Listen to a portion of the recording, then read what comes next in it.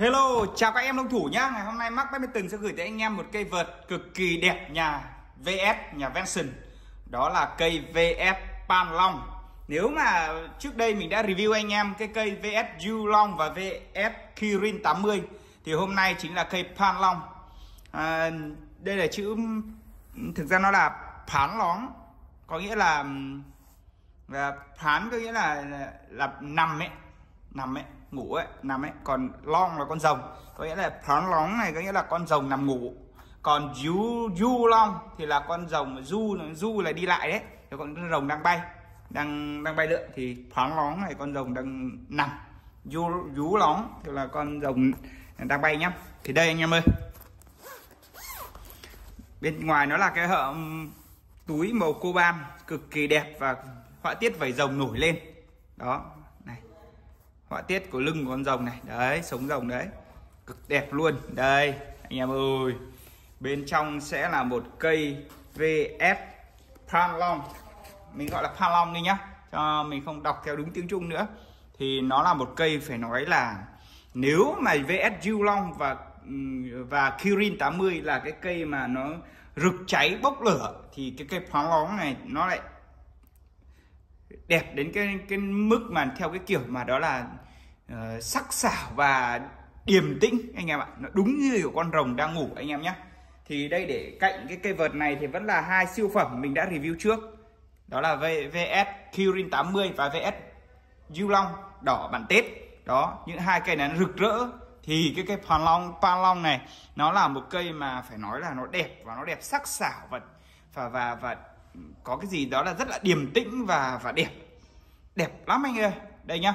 Mình bỏ hai cây này ra đã nhá.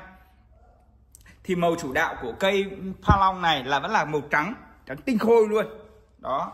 Và các họa tiết ở trên cây vợt của nó thì là họa tiết của, đây, anh em nhìn. Nó là họa tiết đường nét rất sắc sảo. Đó. Và đâu ra đó rõ ràng luôn anh em ơi. Đó.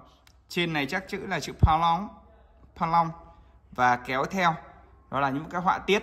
Thì đây nó vẫn là họa tiết của chân con rồng anh em nhé. Chân rồng nhá và vẩy rồng.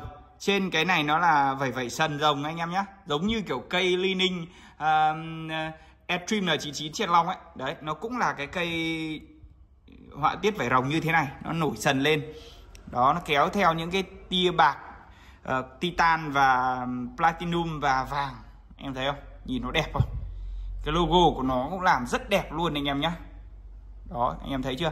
Và cái, trên cái vành vợt này cũng thế, đi theo đó là là cái cái cái độ sắc nét sắc sảo của nó anh em ạ. Đấy cái họa tiết anh em thấy đẹp không? Đi theo là những cái công nghệ cực kỳ đẳng cấp đến từ nhà VS anh em thấy chưa? Đó. Bộ ren của cây Palong này là bộ ren nhựa trắng anh em nhé khá giống với cây Kirin 80 anh em ạ khá giống với cây Kirin 80 nhá. Nhưng mà anh em thấy nhìn này từng đường nét nó quá là hoàn thiện quá là xuất sắc luôn đi. Đẹp đẹp mỹ miều luôn anh em này không có chỗ nào để mà chê được. Đặc đặc biệt cái cây này nó sử dụng công nghệ đũa siêu nhỏ luôn.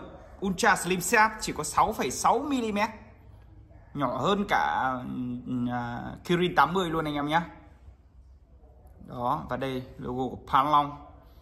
Con rồng. Rồng này thì chúng ta thường thường thấy nó khá đẹp với như kiểu là rồng của Trung Quốc và Nhật Bản Hàn Quốc à, Việt Nam. Đều như những cái họa tiết nổi bật của Á Đông. Và logo đế đen anh em nhé. Cao cấp siêu cao cấp luôn. Đó. Thì nếu như trên cây Kirin 80 nó nó là một cái sản phẩm mà nó tất cả mọi thứ nó được bo tròn đều đẹp.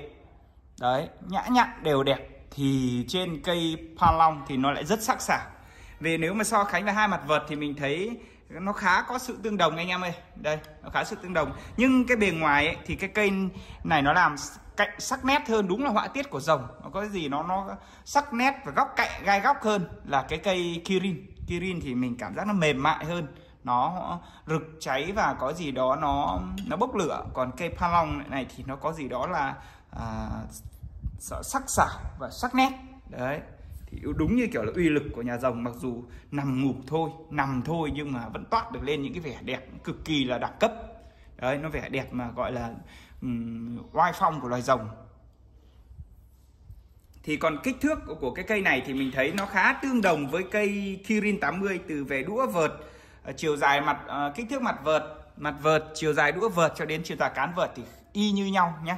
Khá giống nhau, nhưng đũa vợt của cây 80 này nó rơi vào khoảng 6.8 nhưng cái pan long này thì nó lại rơi vào là 6.6 nó nhỏ hơn. Và ờ, cây pan long này thì buổi tối không phát sáng anh em nhé.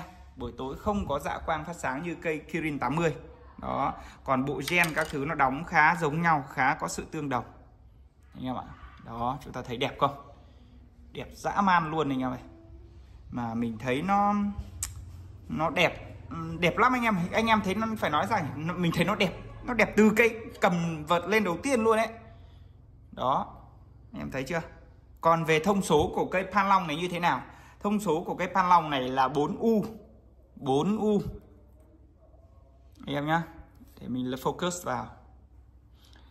Thông số của cây pan long này chính là 4U 82 cộng trừ 2 gam thuộc dòng nhẹ.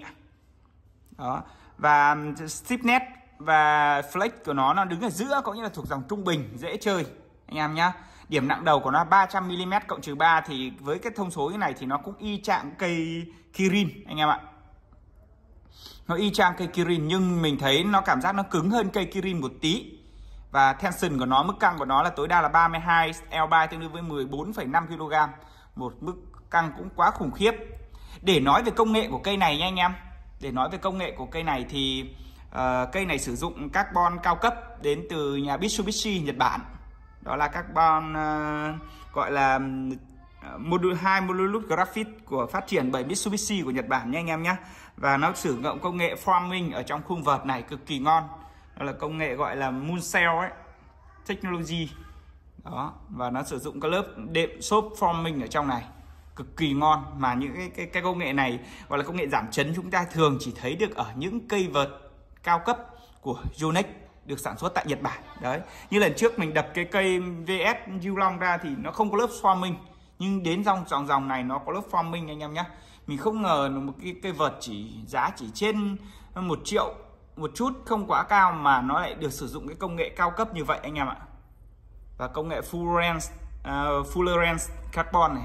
Đó là công nghệ mà được ừ, ừ, nhà sản xuất giới thiệu đó là sử dụng carbon được thiết kế uh, gọi là theo trục bốn chiều ấy. Có nghĩa là nó dù biên động của nó có dao động theo kiểu bốn chiều đấy chăng nữa thì cái cấu trúc carbon của nó vẫn không bị thay đổi. Có nghĩa là khi các bạn chơi trong cái thời gian dài ấy, cái cấu trúc của cái vợt này nó vẫn ổn định như lúc mới ban đầu.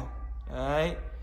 Thì là cái mà mình cực kỳ đáng khen cho dòng này thì thì trên đây là ba cây vật thì chúng ta thì mình đã chơi rồi. Hôm trước là mình đã chơi lướt một cây và mình đã à, bán lại cái cây đấy cho bạn khách khác rồi. Thì mình thấy cây này cây pan long này nó được hòa trộn giữa cây kirin và cây vs du long anh em nhé mình cảm thấy nó ở mức giữa.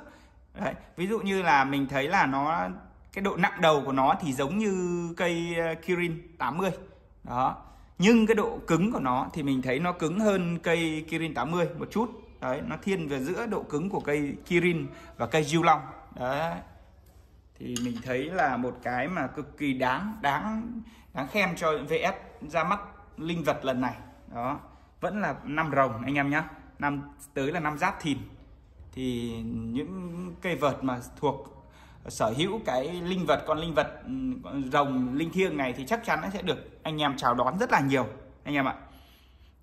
Thì đến với shop Mark Badminton thì cây này các bạn mua chỉ khoảng 1 triệu 190 tặng lưới cho anh em nha anh em nhé một cái giá phải nói là mềm. Còn bên cạnh đó nếu các anh anh em không thích uh, Palong thì anh em có thể chọn sang uh, VS Kirin 80 kỳ lân hoặc là VS Du Long xanh và đỏ. Thì đây là bản đỏ Tết anh em nhé bản này là bản full combo nhá full hộp full combo. Cây này thì giá bên mình đang là 2 triệu 169 nghìn đi cho anh em thoải mái. Các nơi khác toàn bán 2 triệu tư 2 triệu rưỡi thì mình chỉ bán 2 triệu 169 nghìn combo cao cấp của VS à, à, bản Tết anh em nhé còn cây Kirin này thì anh em đến với shop thì chỉ quanh quanh khoảng 1 triệu 490 1 triệu 490 tặng lưới cho anh em. Còn với pan long này chỉ 1 triệu 190 tặng lưới nha anh em nhé Ok, nếu anh em mà thấy review, cái clip này hay, hãy nhớ đăng ký kênh của mình và like video cho mình, ủng hộ mình nhá. Ok, nếu anh em mà có thắc mắc gì, nhớ comment ở phía dưới, mình sẽ trả lời cực kỳ nhiệt tình. Ok, xin chào và hẹn gặp lại. Xin cảm ơn nhá.